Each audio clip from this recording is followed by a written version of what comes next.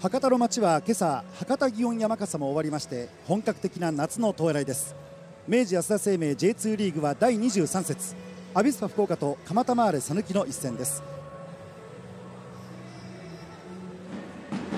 さあではスターティングイレブンです。このメンバーで3バックを予想しています。上が攻撃方向です。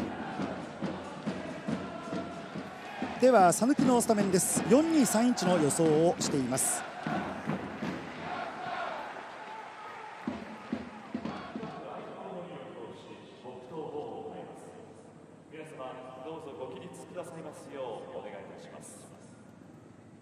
黙祷。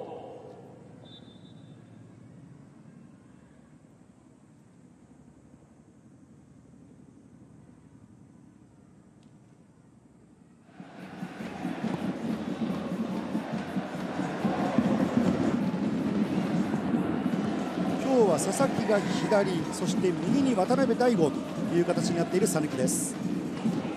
枝村。手前のサイドから駒野のボール。ヘディング止めた。まだこぼれている。クリアできない。いや惜しかったですね。清水ナイスセーブでしたね、えー、そうですね。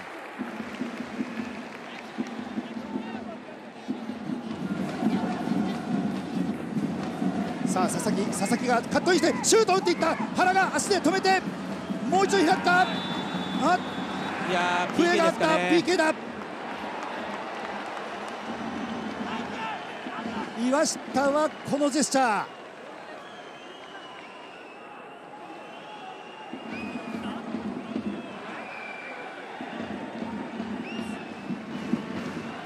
囲い守りきれるか、ね、それとも原が決めるか？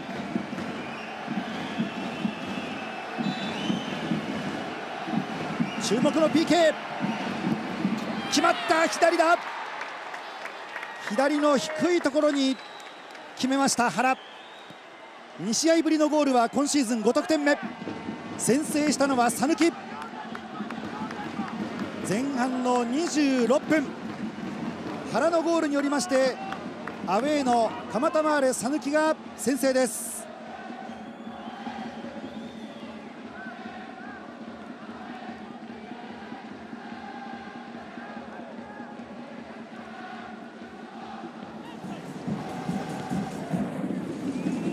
ラップ讃岐向こうサイドから。ふわりと浮かしてきたボール。囲いはゴールの中に転がり込んだ。ボールはそのまま手前のタッチを割っています。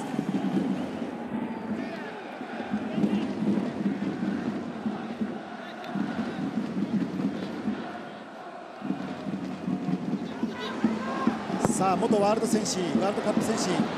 駒野から中へのボール。ファールがあった。と今厳しくいきましたね。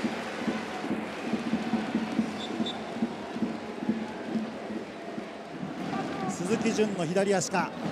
それとも駒野の右足か。清水からの指示が送られる讃岐。讃岐は守りたい。アビスパは同点に追いつきたい。フリーキック。駒野が距離を取った。迷った方が負けですね。鈴木純だ決まったアビスパ追いついた。前半の34分。鈴木純のビューティフルフリーキック。6試合ぶりのゴール。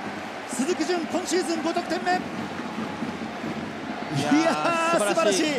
まあ駆け引きでしたよね、えー、森本は遠めのところにいます。低いボールスルーしてシュートは決まったアビスパサネトのゴール。後半の5分アビスパ福岡が今度はコーナーキックから勝ち越しのゴールが生まれました。サネト今シーズン初ゴール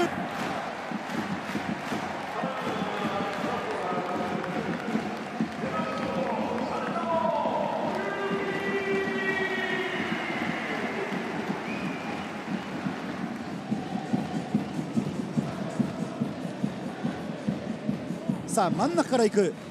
ここで外に開く。枝村駒野枠の中に入っていった。シュート打っていった。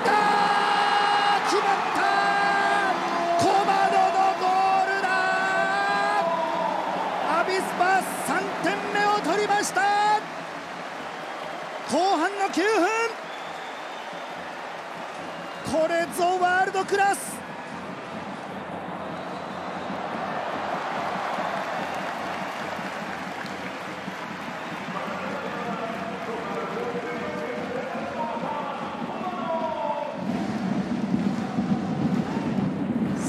なく目安の3分経過。アビスパ2点リード。ここで主審の長い笛。